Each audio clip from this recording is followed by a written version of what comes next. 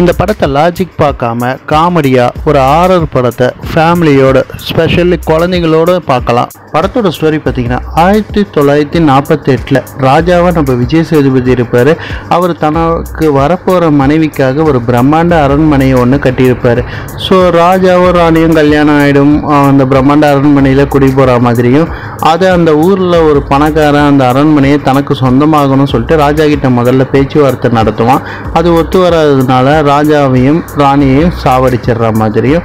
So செத்து போன ராஜா ராணி திருப்பி வந்து பழி வாங்குற மாதிரி கதை இருக்கும். ராஜா கூட யோகி பாபு சமையல்காரனாக இருக்கிற மாதிரியும் ஸோ ராஜாவை சாவடிச்சுட்டு அந்த அரண்மனையில் வில்லன் தான் குடும்பத்தோடு வரா மாதிரியும் வந்தவங்கள யோகி பாபு சாப்பாடில் விஷம் வச்சு அவங்கள சாவடிச்சிடுற மாதிரியும். ஸோ அவங்க சாப்பிட்றதுக்கு முன்னால் சாப்பாடில் விஷம் இருக்கா இல்லையா டெஸ்ட் பண்ணணும்னு சொல்லிட்டு யோகி பாபையும் சாப்பிட சொல்லுவாங்க.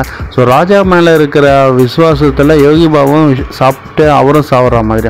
ஸோ டோட்டலாக அந்த வில்லன் ஃபேமிலியும் யோகி பாபுவும் ஆவியாக அந்த அரண்மனை சுற்றுற மாதிரியும் இந்த நேரத்தில் தான் தாப்சியோட ஃபேமிலி அதாவது தாப்சி அவங்க அம்மா ராதிகா அப்பா அண்ணன் நாலு பேர் அந்த அரண்மனைக்குள்ளே போகிற மாதிரியும் அதுக்கப்புறம் என்ன நடக்குதுன்ற மாதிரி கதை போகும்.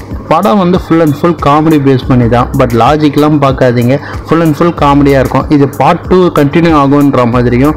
ஸோ ஃபைனலாக எண்டிங் இல்லாத மாதிரி தான் முடிச்சிருப்பாங்க.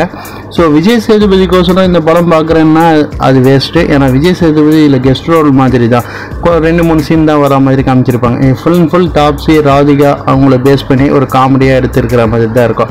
படம் வந்து ஒரு குழந்தைங்களோட டைம் பாஸாக பார்க்கலாம். பார்த்துட்டு எப்படி இருக்கு சொல்லுங்கள் உங்களுக்கு பிடிச்சிருக்குன்னு நான் நம்புறேன். உங்களுக்கு பிடிச்சிருந்துச்சுன்னா லைக் பண்ணுங்க கமெண்ட் பண்ணுங்க உங்க ஃப்ரெண்ட்ஸுக்கு ஷேர் பண்ணுங்க. சப்ஸ்கிரைப் பண்ணுங்க. பக்கத்துல இருக்க பெல் பட்டனை பிரஸ் பண்ணுங்க. மீண்டும் அடுத்த வீடியோல சந்திக்கலாம்.